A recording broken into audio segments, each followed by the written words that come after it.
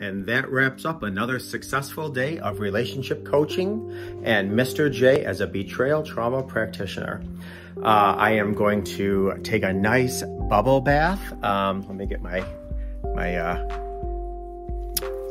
house coat. And uh, this is my closet now that I'm in here. Uh, these are my uh, college days up here. These are my military days up here. And these up here are my theater, movie, and television days. Um, spent many years uh, in the entertainment field.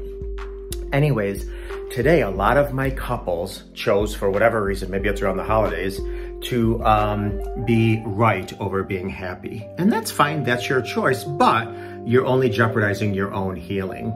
See, there's a big difference between reacting and responding.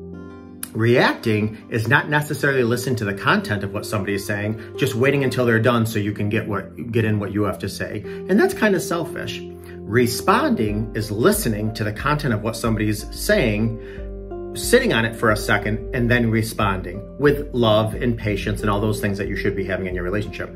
This is especially, especially difficult but imperative in a relationship where there's broken trust because the person that broke trust they're going to be very defensive at times. So they have to make sure they're responding, not reacting. The person who was betrayed is going to be filled with emotions and rage and hostility and resentment, and anger.